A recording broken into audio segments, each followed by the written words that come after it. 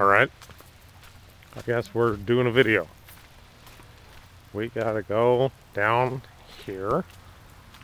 The bunks look rather uh, rough, but they're there. And I gotta go get a damn tape measure. But as you can see, it's pretty damn big.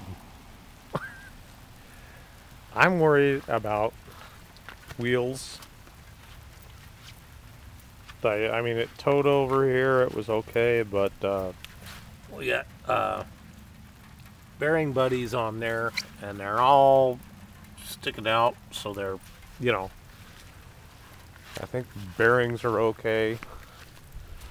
We have, here's another aspect, is the angle of everything. I think that's an important factor. We have a lot of V. I think if we, you know, I'm, I'm we put some carpet on these rails, be all right. Other aspect, like I said, um, the bearing buddies are all pushed out and the wheels spun fine.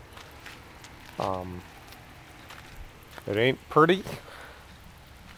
It's got a beefy damn winch on the front and everything. And it has trailer brakes.